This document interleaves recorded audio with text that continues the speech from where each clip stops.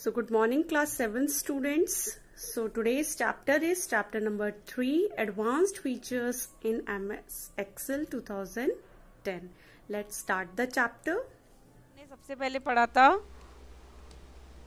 Column chart next आते हैं हम बार चार्ट पे बार चार्ट क्या होती है यहाँ से आप क्लिक करो बार चार्ट लो ये इस तरीके से आपके पास बार चार्ट आ जाएगी ठीक है तो इसमें, इसका जो रिप्रेजेंटेशन कैसा है, वो हॉरिजॉन्टल है।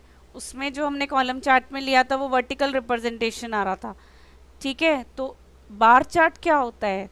So bar chart is a comparison between the individual data item ठीक है? पर्टिकुलर एक इंडिविजुअल जो भी कोई डेटा है, उसका हम इजीली कंपैरिजन करवा सकते हैं। ठीक है? इसमें जो लॉन्ग रेक्टेंगुलर रॉड्स होती हैं, उनको कहते हैं हम बार्स ठीक है? इस तरीके से जो रॉन्ग रेक्टेंगुलर है, उनको बार्स कहते हैं।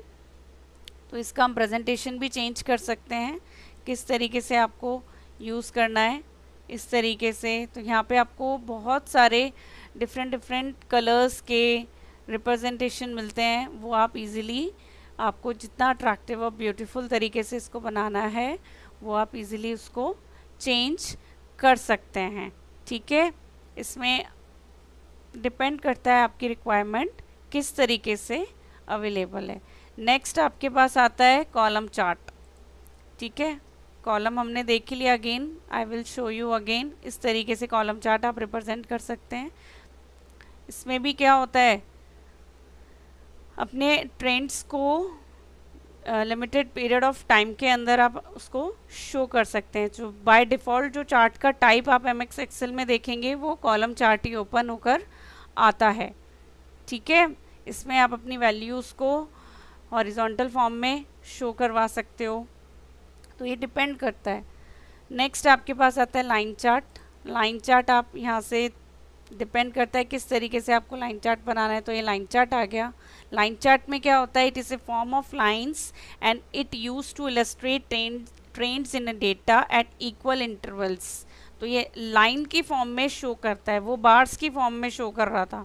ये लाइन की फॉर्म में आपके पास शो करता है। लाइंस के अकॉर्डिंग ये अप एंड डाउन ये जो आप देख रहे हो, ये जिग्जैक फॉर्म में जो आता है तो ये एक्स एक्सिस और वाई एक्सिस पे जिसके मार्क्स बढ़ रहे हैं, वो ऊपर जा रहा है। जिसके मार्क्स इंग्लिश में हिंदी में कम हो रहे हैं तो वो यहाँ से आप इसका डिज़ाइनिंग भी चेंज कर सकते हो।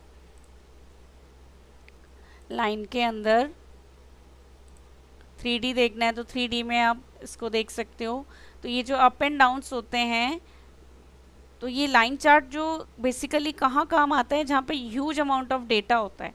ये तो हमारे पास डेटा बहुत स्मॉल स्केल पर है, जहाँ पे ह्यूज अमाउंट्स ऑफ़ डेटा होता है, वो इजीली आप देख सकते हो। आप जैसे एक मैं एग्जांपल लेती हूँ, आप क्रिकेट मैच टीवी में देखते हैं तो जब टीवी में क्रिकेट मैच देखते हो तो आपको उसमें हर एक बॉल का रिप्ले दिखाते हैं कि किस तरीके से वॉल टैप होके और कहाँ जाके लगी। तो एक ग्राफिक्स के फॉर्म में आपके पास एक इमेज आती है आपके टीवी स्क्रीन पर। वो आप इजीली बॉल का आप देख सकते हो कि कितनी स्पीड से गई और कितना एवरेज उस बॉल पे जाके और फिर जाके लास्ट में वो बैट पे लगा। तो वो रिप्रेजेंटेशन आप, वहाँ पे तो बॉल की पर्टिकुलर उसकी स्क्रीनिंग हो रही थी। यहाँ पे आप अपने मार्क्स हमारे पास है तो इस तरीके से हम मार्क्स की स्क्रीनिंग कर सकते हैं।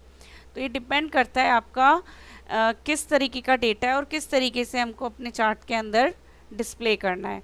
सेकेंड थिंग इसमें आ, जो है आपके जो डिफरेंस ऑफ़ चार्ट में एरिया अब नेक्स्ट चीज़ के साइड में आता है एरिया चार्ट अब एरिया चार्ट अगर आप देखेंगे तो इस तरीके से एरिया आप डिस्प्ले कर सकते हो।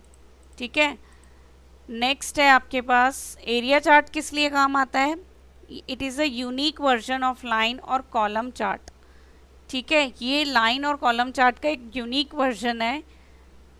ठीक है this type of chart has a greater visual impact than a line chart ये लाइन चार्ट से ज़्यादा बेटर है area chart it emphasis emphasise the magnitude that is the volume of change over time by showing the sum of the plotted values and area chart also displays the relationship of parts to a whole.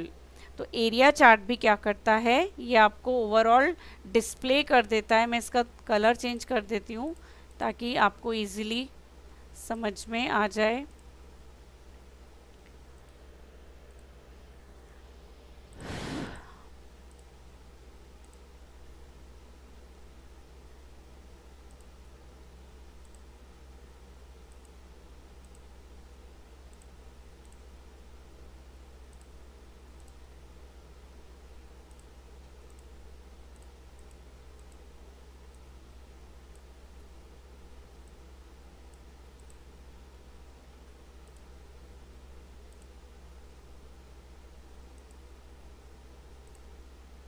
ये देखिए, इस तरीके से आप अलग अलग colours से अपने एरियाज़ को अलग अलग उसमें प्लॉट करवा सकते हैं, ठीक है? तो ये आपका हो गया इंग्लिश ये हिंदी और this is your total so thank you students for listening this video